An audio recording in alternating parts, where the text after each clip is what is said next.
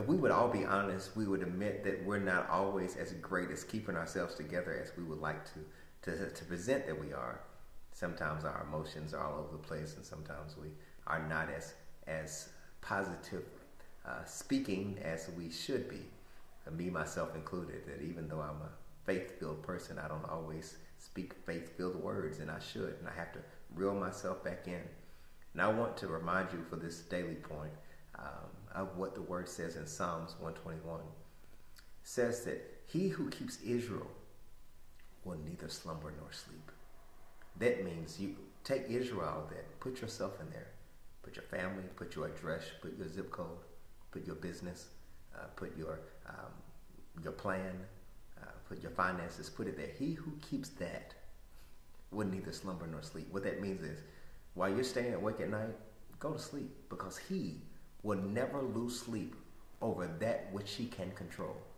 It might look like it's out of control to you, but all things are in control because He has a different perspective that we do not have.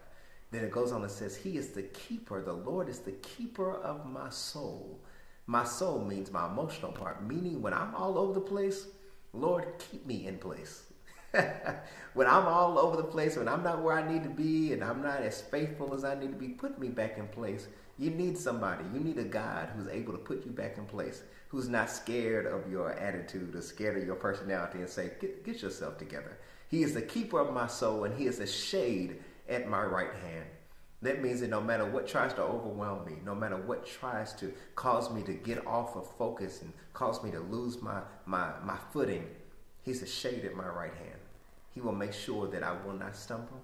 He will make sure that I do not fall. He will make sure that whatever I need, He overwhelms me with His presence.